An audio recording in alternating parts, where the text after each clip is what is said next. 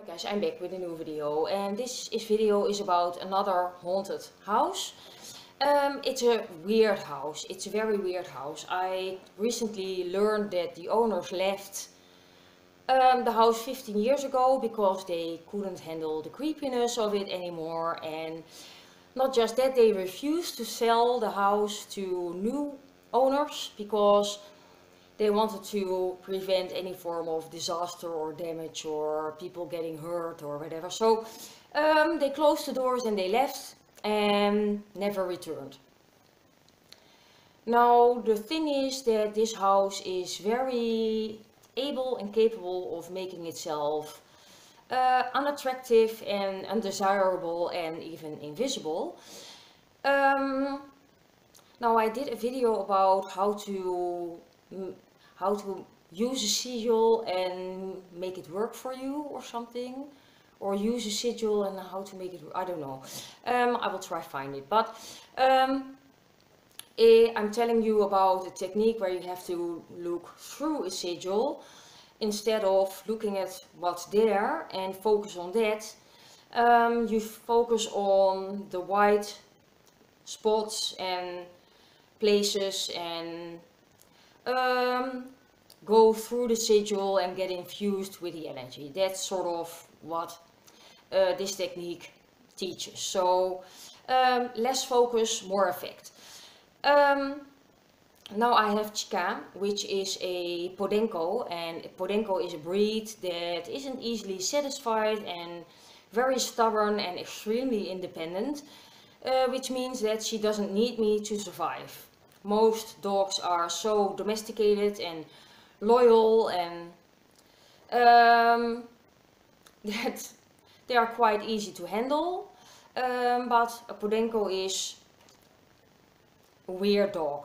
Um, so if you take Podenco for a walk and you take the same circle or route every um, damn time, then they go crazy or they can become aggressive or whatever.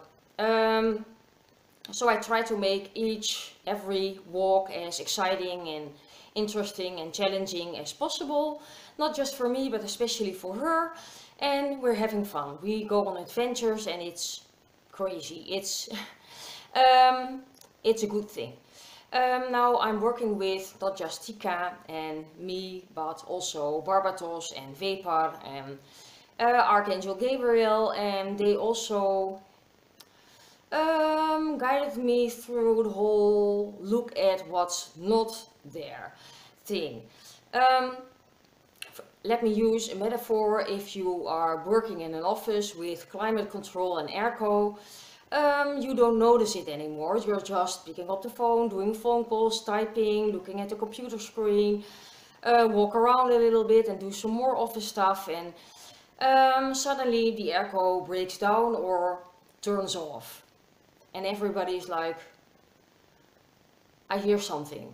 And the thing is that your brain is filtered, uses its filters in such a way that the annoying sound of a an airco gets deleted or ignored or becomes invisible and you can just work and do your job without being disturbed by this noise. But when it breaks down and it turns off, your brain is like, what's going on? And you hear nothing. It's the absence of noise that uh, triggers your attention. Um, so the same thing happens with um, city. Let me just uh, draw some random roads. Uh, it's not a sigil, it's just an easy map that shows you, well, how a random city looks like. I know um, it's a very Dutch city with um, circles and squares and things like that. So um, these are all the roads, but the thing is that you have to learn focus on what's not there. Now, of course, there are houses and uh, people are driving around and there are schools and people are playing, uh, ch children are playing and there are shops and whatever. but even then, there are always places that are gaps in time or locations or places that are um, empty. It's like a deep well and you learn to go around them and but you don't notice them anymore and that's the things that I like to um, give my attention to. This way I, well, I walk Chica and I'm walking and I'm walking and I'm walking and, um, wait a minute. And every time I go out of the park, I try to take different uh, roads and pathways, but uh, she likes one particular route to into town and that's because there is a house with a lot of with a garden. Uh, the garden surrounds the house and it's covered with ivy. And ivy is a great hiding place and um, home for mice and Chica loves mice. That's in a um, destroy death and decay kind of love but uh, she loves mice, so I have to pull her out of the garden every time I pass this house. Now, um, because Chica is drawn to this house, I finally noticed after 30 years that there's another house next to it. Sometimes I am looking through the windows if uh, the owners are there and if they're they just left or they're not there, I just let Chica into the garden and let her catch some mice. And um, I'm just standing there being bored and trying to be patient and um, that's how I noticed the house next door. And that's the house that I'm talking about because that's that's the weird one um, like I said it's huge it's creepy it's weird it's invisible it's it wasn't there for almost 30 years, which is very, very weird. So um, I'm going to take the bread out of the oven because else it's going to burn. I'm baking bread myself and I will just um, pick up where I left off in uh, just a bit.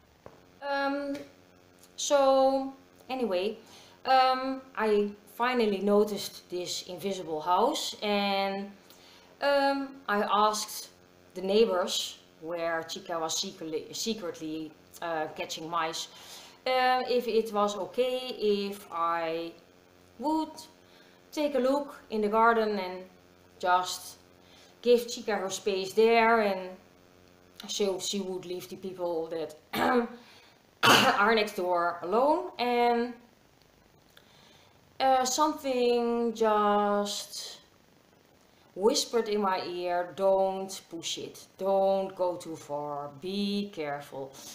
Um, so I was very careful and very respectful and um, we went back uh, almost every day and first of course the fence didn't want to open and I was like okay that's a sign.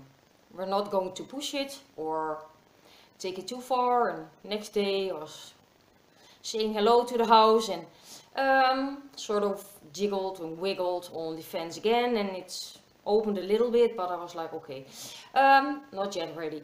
Um, and finally the fence opened and things like that. And I was trying to see just enjoy the garden and there's not much left of the garden but um, there are mice so that's fine and there are crickets and um, it's nice and noisy with all these animals and there are three cats.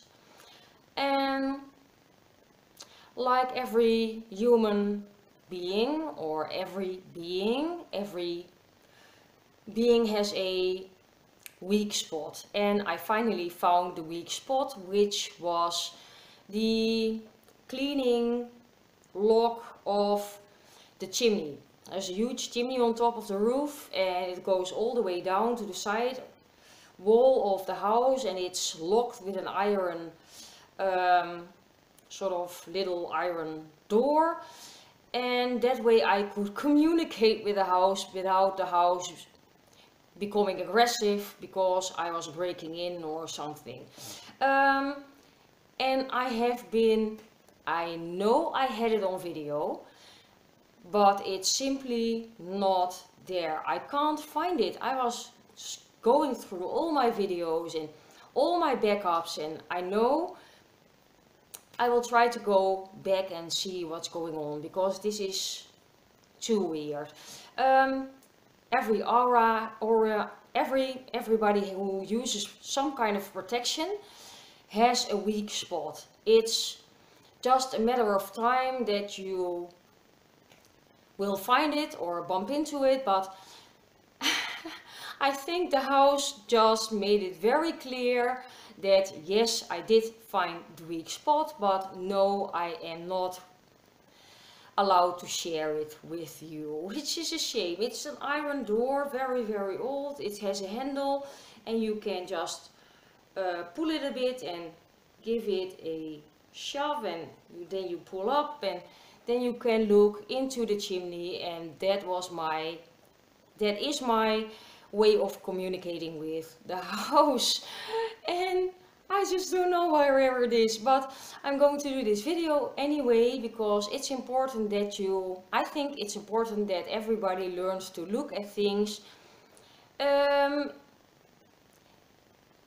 at to look at the world with open eyes and look at the world. Not like we are programmed to do, but look at life and the world and our cities and homes in such a way that we become aware of the things we normally filter out as um, so we can focus on the things that are invisible because there's a lot of treasures hidden in locations that um, try to stay hidden or we just aren't that interested in. So I will go back to the house, but I will upload this video first and just um, disappoint you guys a little bit because, well, the most important thing is every type of protection has a weak spot, a back door, an entrance, something um, to penetrate or you can use or whatever. Um, this house is spirited and haunted, so um, well, that's it for now. See you next time. Bye.